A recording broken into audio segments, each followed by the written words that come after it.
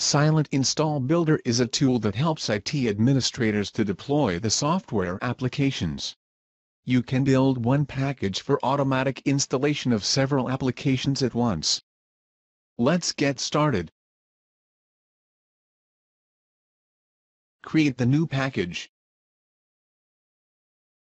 The package may contain several application installers. Click Add Installer and select the installer file.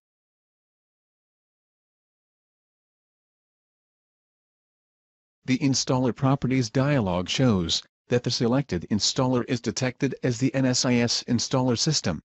The command line parameters that are requires for the silent installation has been filled automatically.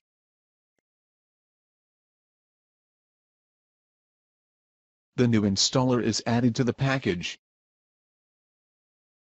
You can add another installer into this package.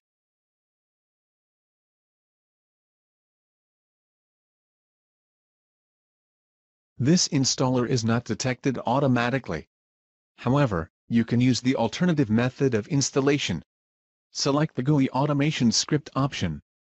This method is recommended for situations when the silent install parameters are not known, or if you wish to customize the installation process.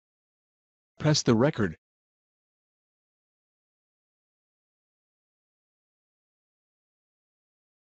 The application installer is started. To record the script step, move the mouse pointer. Press the Control key and click. The script step dialog is appeared. To save the script step click the OK.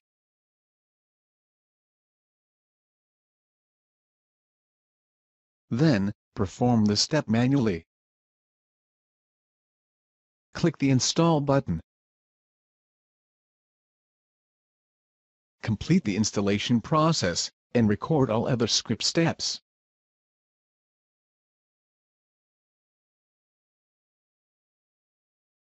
Now you can test the script. Click the play button.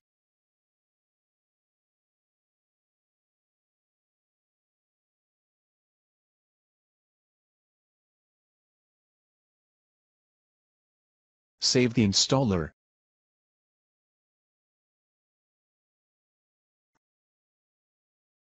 Add the description that will be displayed to end users. Now, you can build the package. Select the package type. The MSI package is suitable to deploy in enterprise network. The executable package can be used to distribute to end users.